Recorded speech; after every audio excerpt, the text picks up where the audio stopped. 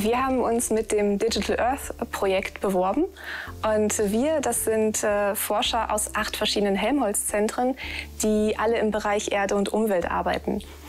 Wir beschäftigen uns zum Beispiel mit so Themen wie Klimawandel und ähm, Ursachen und Auswirkungen von äh, Naturkatastrophen.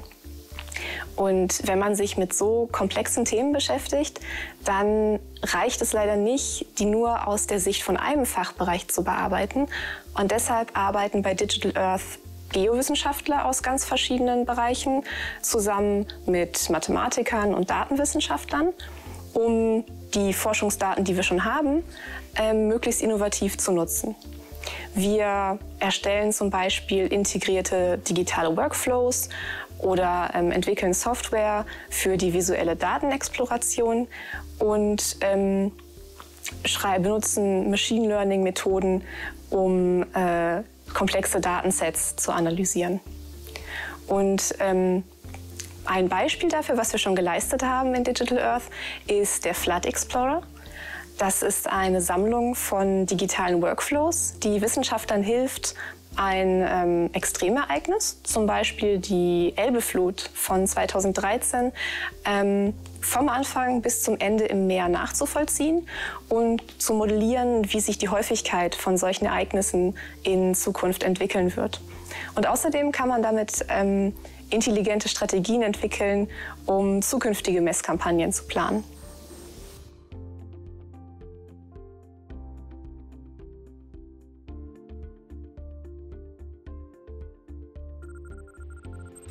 Es ist nämlich so, dass wenn Leute viel wissen, dann können Leute auch viel reden und wenn Leute viel reden, dann kann es passieren, dass Leute aneinander vorbeireden. Das war leider auch der Fall bei den ersten Meetings von Digital Earth. Es wurde viel aneinander vorbeigeredet.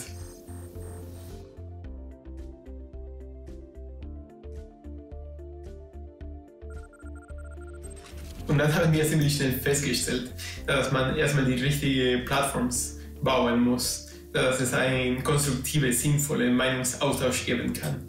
Das ist uns auch eventuell gelungen, manchmal analog, manchmal digital, mit Hilfe von Software, mit Hilfe von Team Dynamics. Am Ende hat diese Kommunikation untereinander doch sehr gut geklappt.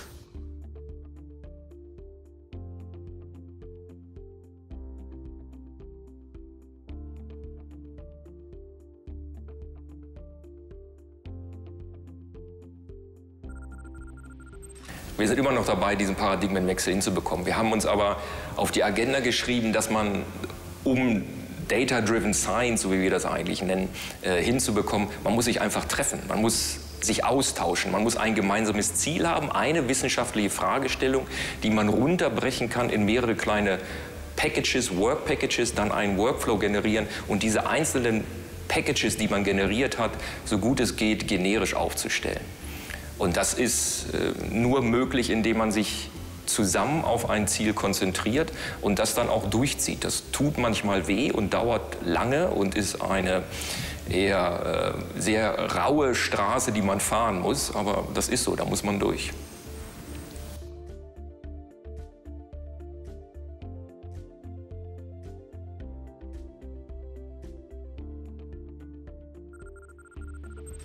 Ich konnte gut in die Remote-Arbeit wechseln. Unser Direktorium hat schnell reagiert und die Zeit für die tägliche Fahrt zur Arbeit oder für Dienstreisen habe ich in die Arbeit investiert und auch für zu Hause. Ich sehe Telekonferenz-Tools und vor allem kollaborative Tools, wo man gemeinsam mit Kollegen in einem Dokument arbeitet, nicht nur in einem Dokument, sondern auch mit Datenanalysen oder in Softwarecode solche Tools habe ich in dieser Zeit besser kennengelernt und werde in der Zukunft weiterverwenden.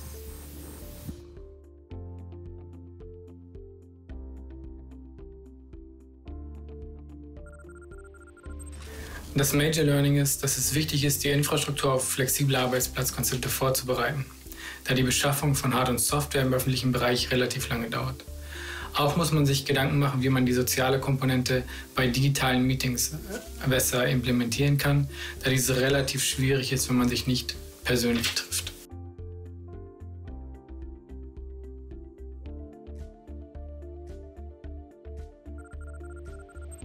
Weiß ich jetzt gar nicht. Also ich glaube, wir werden da nicht viel äh, dran ändern, was wir an digitalen Projekten machen. Also digital ist ja nun mal digital und eben nicht Treffen in Persona. Äh, auf die Digitalprojekte das ist kein großes Problem, wenn man natürlich die Fachdisziplin anguckt, die Leute, die auch ins Feld müssen. Das ist schon üppig, was da geändert werden muss. Insbesondere, ich bin ja Marineforscher, wenn wir an unsere Schiffe denken, die dürfen immer nur halb besetzt werden. Und wenn das noch länger so weitergeht, dann haben wir wirklich ein Problem, unsere Wissenschaft dahingehend durchzuführen, dass wir alles machen können, was wir uns vorgenommen haben auf den Schiffen.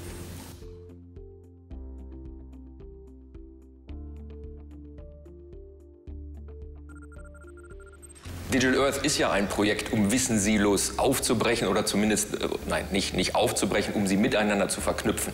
Und äh, an allen acht Helmholtz-Zentren, die ja daran beteiligt sind, wird versucht, durch eine angeregte Diskussion mit den entsprechenden Partnern äh, Verbindung zu schaffen zwischen diesen unterschiedlichen Wissenssilos. Also wir haben Wissenssilos, wir haben ja acht Zentren mit unterschiedlichen äh, Expertisen. Wir haben die Atmosphäre ganz groß dabei, wir haben den, Mar das, den Marienbereich dabei und natürlich den terrestrischen Bereich. Und diese Leute allein zusammenzubringen und auf eine gemeinsame äh, Nomenklatur von Worten, von Begriffen hinzuarbeiten, ist schon sehr anstrengend.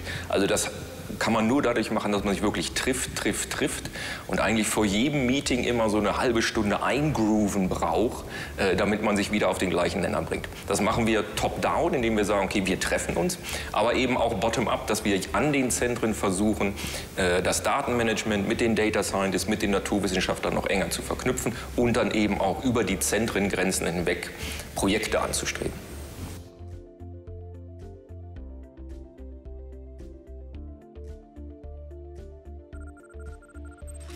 Fehlerkultur, ich denke, so ein bisschen kann man das schon top-down anordnen, dass man nämlich sagt, lernt aus euren Fehlern und berücksichtigt die Fehler schon innerhalb des Projektes oder innerhalb eurer Arbeit. Also zu sagen, okay, wir wissen alle, dass Fehler passieren, aber sie müssen dann eben auch aus der Welt geschafft werden. Wissenschaftler machen das eigentlich, Wissenschaftler machen häufig Anführungsstrichen Fehler, weil sie irgendwas sich denken, wie etwas funktioniert und dann feststellen, klappt gar nicht so, wie sich das gedacht hat. Und dann müssen sie eben nochmal zurück, nicht ganz auf Start, aber ein Stück zurück und dann äh, schauen, wie sie, was ich, ihr Experiment oder, oder ihre Ausfahrt oder die Probennahme besser gestalten können. Also Fehlerkultur ist hm, Second Nature für Naturwissenschaftler, denke ich.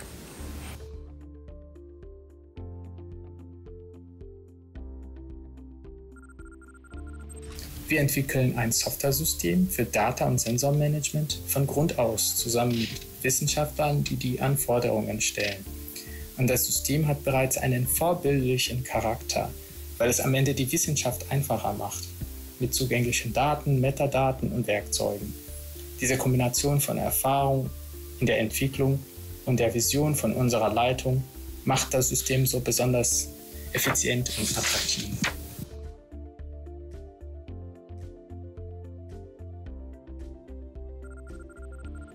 Ein Role Model für mich ist jemand, der ganz viele Erfahrungen gesammelt hat, sei es positive und negative, sodass am Ende des Tages, wenn ich selber verzweifelt bin, da kann ich mich immer fragen, was hätte er gemacht? In dem Sinne glaube ich schon, dass Digital Earth ein Role Model ist. Wenn ich denke an die ganzen Herausforderungen, was auf uns zukommen, äh, das sind kaum Probleme, die Institutionen alleine lösen können.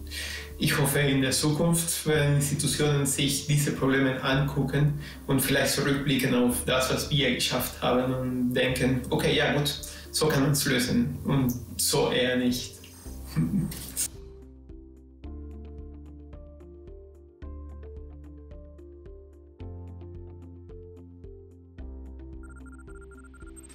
Sie fragen, wie man acht Wissenschaftszentren zusammenbringt und ein funktionsfähiges Projekt auf die Beine stellt. Zum einen ist es die Leidenschaft, ein gemeinsames Ziel zu erreichen. Bei uns ist es das bessere Verständnis von Umweltprozessen. Es braucht Menschen, die ihre Komfortzone verlassen mögen und im Schnittbereich verschiedener Disziplinen an neuen Entwicklungen arbeiten. Es braucht viel Kommunikation, um die verschiedenen Kulturen, Sprachen und Konzepte zu verstehen und zueinander in Beziehung zu setzen. Und es braucht Werkzeuge, die dabei helfen, die verschiedenen Ansätze auf einen Nenner zu bringen und zu verbinden. In unserem Kontext sind das konzeptionelle und digitale Workflows, ko ähm, kollaborative agile Softwareentwicklung, komponentenbasierte Softwareframeworks. Und zu allerletzt kommt hinzu, dass wir unser Projekt immer wieder evaluieren, um zu sehen, wo wir uns verbessern können.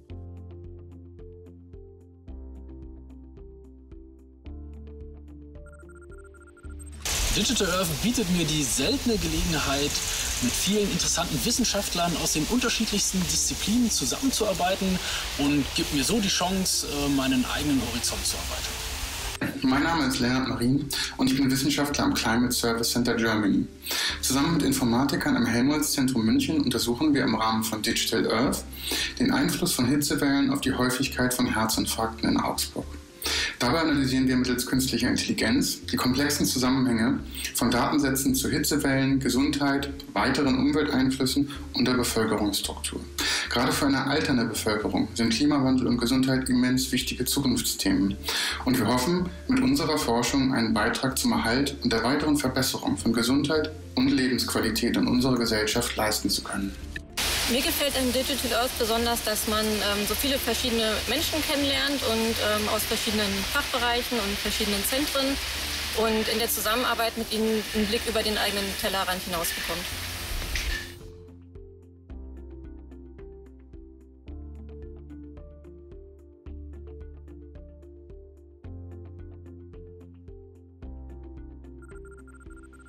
Na, wir hoffen halt, dass wir gewinnen oder dass wir gewonnen haben äh, und dadurch eben die Sichtbarkeit nach außen einmal für die Gesellschaft, aber eben auch für unsere eigenen Kollegen, für die Wissenschaftler an den acht Zentren, äh, dass das deutlicher wird, dass dies, diese Digitalisierung in der Wissenschaft gerade gibt, dass wir massiv dabei sind, auch auf nationaler Ebene, nicht nur innerhalb von Helmholtz, Digitalisierung voranzutreiben mit äh, gemeinsamen Datenmanagement und äh, dass wir eigentlich ein neues Zeitalter einläuten wollen, äh, wie Wissenschaft gemacht wird.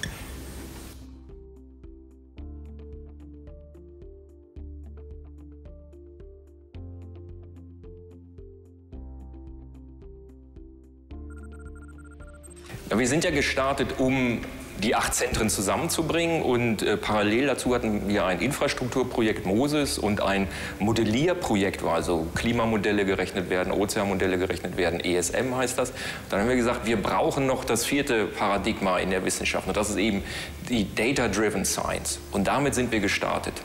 Und dann war es ein Findungsweg, die entsprechenden Akteure zusammenzubringen, sich zusammenzuraufen, zu diskutieren, was man eigentlich unter bestimmten Termina versteht. Ja, Data Assimilation wird bei ganz unterschiedlichen Leuten ganz anders verstanden. Äh, und sich da erstmal aufeinander einzuspielen, das hat einiges an Zeit gedauert und Mühe.